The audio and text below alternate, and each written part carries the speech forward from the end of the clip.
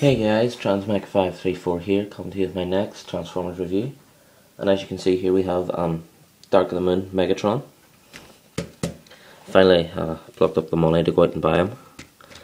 Um, just a quick look at the packaging first. Um, I like to show the packaging just because uh, here in the UK the packaging is a little different from America and uh, I like to show off the differences.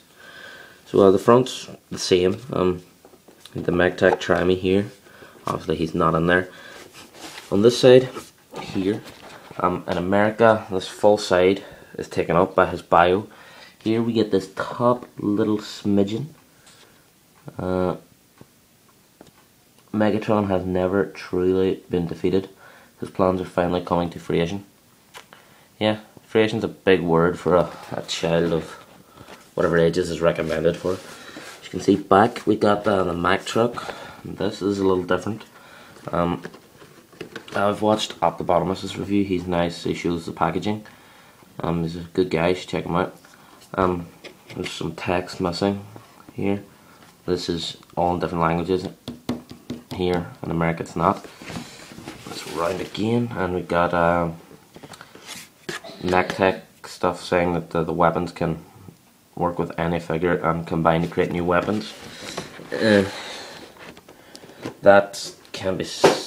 Uh, anyway, Megatron. Great figure. Um, definitely one of the best Voyagers from the line. Um,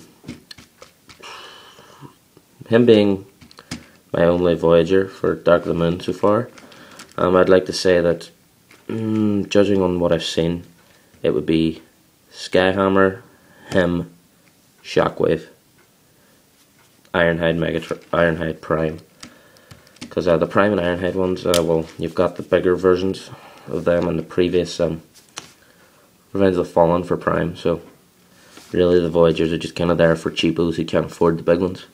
Kind of like me. Whoa, there goes the camera. Sorry about that. Um, so uh, as you can see, obviously, he's got the movement joint edge here, uh, which is good because it's only one figure this doesn't separate. Uh, this can come off. Nice pliable plastic. Set that off the side. Um, uh, the Darth Prime, he's uh, another reviewer. I should check him out. My channel, there's links to all these guys I'm going to mention. Um, that's what this is. This is where a coiled up hose would be for um, whatever reason to unload whatever he's transporting. Um, his roll's pretty nice. Um, in this mode, he has a couple of MechTech ports. He's got one here, one on the other side, one here, one on the other side as well, and this one up the top. He also has clip-on points, which haven't actually, well, I haven't seen mentioned. Um, you've got this one here, right in there, is a clip-on point. Um, I've never tried it, but I'm guessing the here could probably be a clip-on point.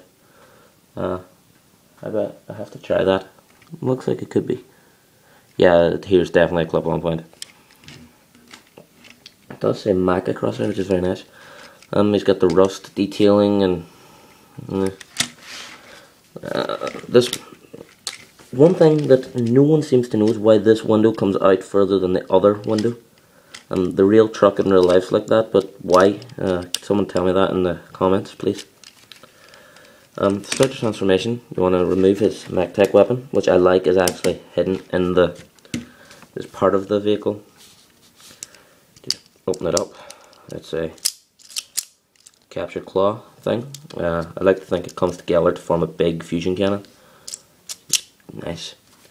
Uh, moving on, you want to separate here and accordion them out on both sides.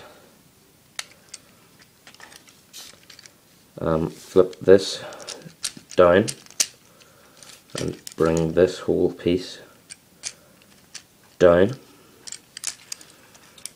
and separate and a tab the tab there the hole in there and you just tab in the hole simple as nothing major or about it. Rotate the legs. Um, untab from up here here and bring them out. You can see the difference there in the two legs. Out. Bring up the crotch plate.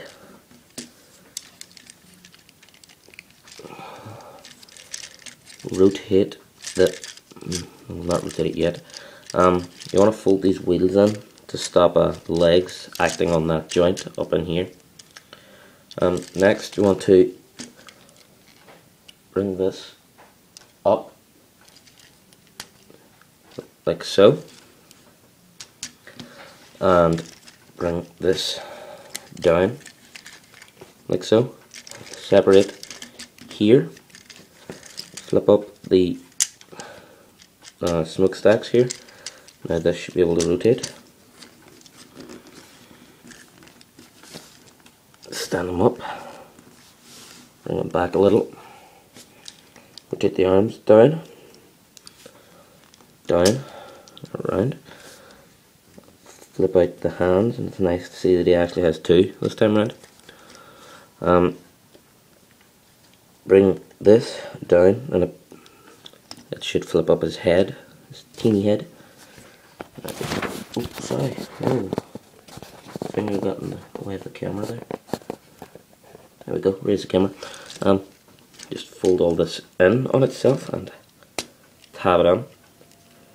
Rotate these so that they like so and split the bumper.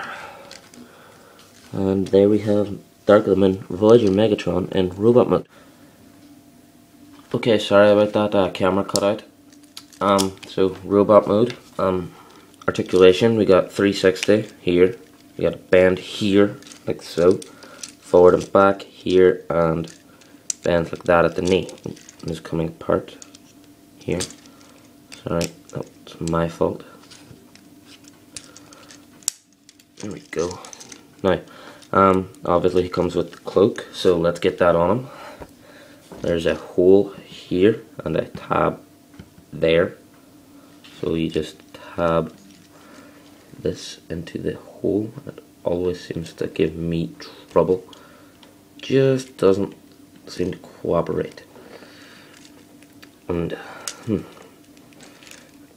uh, I like to bring the bumper out over the cloak just to give it a little more a vibe that he's holding it on there with his truck. So uh, yeah, and uh, obviously he comes with the MechTech cannon. Now uh, this is this is what the box calls his fusion kit, his blaster it says blaster converts to fusion cannon. So uh, blaster, oh, just open, rotate. This is the fusion cannon. Um, I like to think this becomes one here. They kind of meld the front. Becomes one big ass weapon. Just tap that onto his arm. There. Now uh, it does say on the box that uh, you can combine weapons to make new weapons. So uh, let's see how that works.